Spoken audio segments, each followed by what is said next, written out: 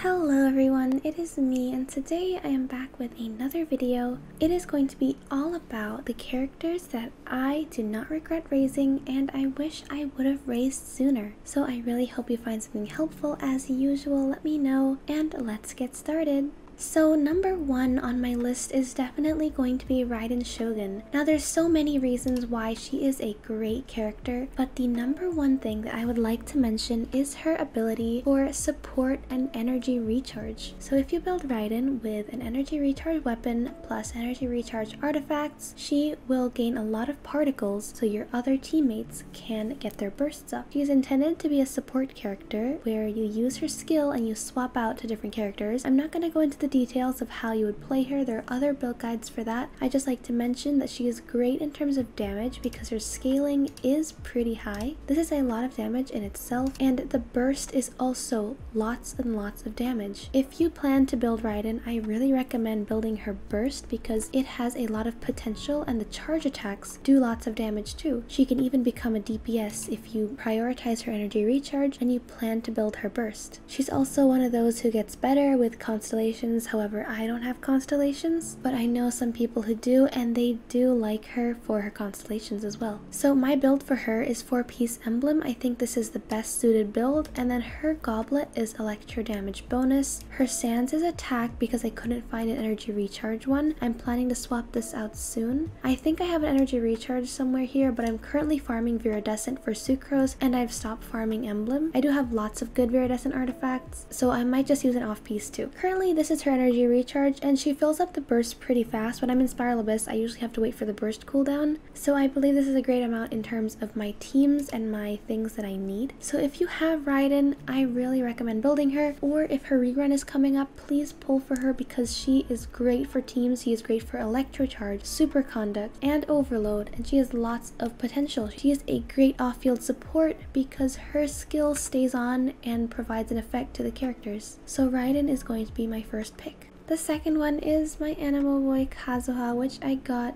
in 2.8. I always use Kazuha no matter the team. Even if it's a team that might not need someone like Kazuha, I still manage to put him in the team just because I really like playing him. He was so much fun, especially when you can dodge enemies with the skill, you can group them up together and you can watch them sweep up into the air and plunge back down. It is a lot of fun. Other than just being fun to play, Kazuha also provides lots of support abilities. If you build him with 4-piece Viridescent, you can decrease the resistance of the enemies to the element that you're using using to fight. 4-piece Viridescent is great for any Anemo unit. Try building him with Elemental Mastery because he will buff your Elemental Mastery with his burst. He is a great crowd control as well. His elemental skill will sweep up the enemies, put them into a little group so you can apply your bursts. If you have Eula, you can have them together, or if you have Raiden, or even having the enemies close to your healing circle, like if you have Diona, it's always great to have someone there to crowd control so you're not running across the entire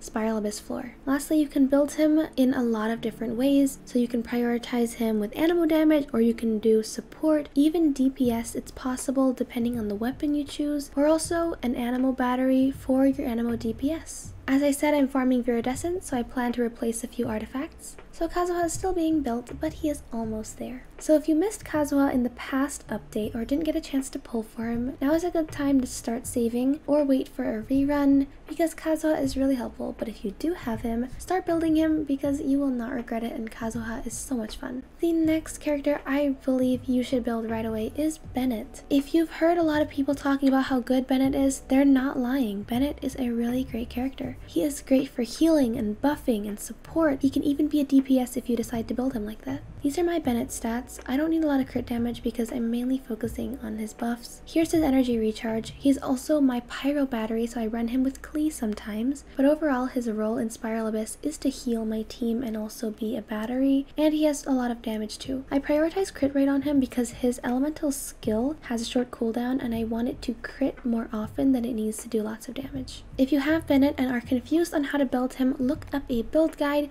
so that you are building him that helps your team. Here's a side note, if you ever see that you have Bennett Constellation C6, think twice before you activate that constellation because Bennett C6 makes it so that when you stand in his burst, your attacks will become pyro. And if you have a physical DPS like Eula and you want Bennett to buff Eula's attack, it might not help because Eula's attacks are going to be pyro rather than physical. But if you do have a pyro DPS and are planning to use Bennett in those team comps, then maybe you can activate C6. But just remember, look at your account before you click that activate button. So for Bennett, really prioritize his burst because that's the one that will do the buffing. Try to get his base attack really high and stack a lot of energy recharge because you want to be spamming that burst. You want to be gaining the particles. Right now I use Favonius sword. The base attack is pretty low, but the energy recharge is mainly what I'm here for. For him, he has two-piece Wanderers and two-piece Crimson. Yes, it's not the four-piece Noblesse or even the two-piece Noblesse, but I think the set is working out really well because I have a great pyro damage bonus goblet with energy recharge, attack, and crit rate. Plus, I have an energy recharge sands with a lot of elemental mastery and crit damage.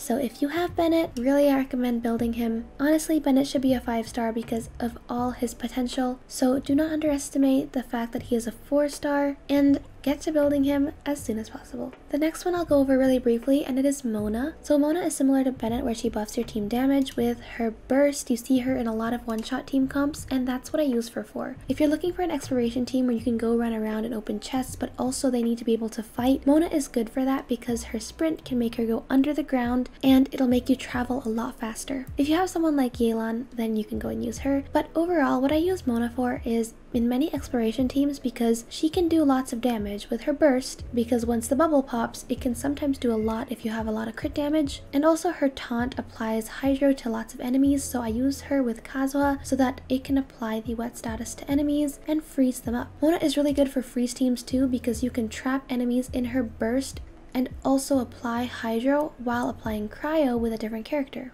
Right now she's C2, yes she is the highest constellation 5 star other than the Traveler that I currently have because I lost the 50-50 and somehow got lucky on standard. Lucky, unlucky, I'm sure. Right now Mona does not have any set bonuses and it's actually been running pretty fine with that. She uses the Widsith and her attributes look like this. To be honest, I feel like she crits a lot more than I expect her to, so I'm not too worried about crit rate or the energy recharge either. Her crit damage is at a good spot in my opinion and for my use in Spiral Abyss.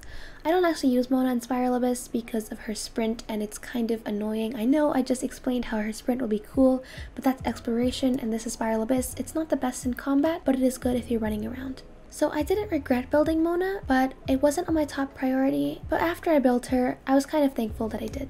And the last character on my list is Rosaria, another 4 star. Rosaria was my first DPS and the moment I got her, I just really, really liked playing her. So I know polearm attacks can seem very light. For example, Xiangling, her attacks just seem very weak and light. It doesn't feel like any damage is coming out. But the difference with Rosaria is that her attacks feel a lot heavier and stronger. And also, because I built her as a physical DPS, it does actually turn out being a lot stronger. Her charge attacks can hit up to 10k, which is not what a lot of other characters can. And I've built her in that way where I can utilize her for physical damage. Rosaria is C6. Yes, that's how many constellations I get. I have her attacks at 9 and then these are from constellations but they're at the level before crowning because I'm not crowning any characters yet until I really decide on the teams that I want. But I feel like Rosaria is going to be one of them in the long run. So Rosaria can be a great cryo battery if you're running a freeze comp or if you're running her with Eula maybe. She right now has 2-piece Bloodstained Chivalry and a lot of off pieces. That is because I haven't checked up on her build since I've been building so many other characters but I plan to run her with two-piece Bloodstain and two-piece Pale Flame, or maybe two-piece of a physical damage bonus plus the Cryo set. Currently a Cryo damage bonus goblet, and the thing you want to prioritize is crit rate. Now listen to this guys, if you are struggling with crit rate on your artifacts, Rosaria can help with that. What you want to do, is stack a lot of crit rate on Rosaria, because once you apply your skill or burst, it is going to grant your teammates a portion of Rosaria's crit rate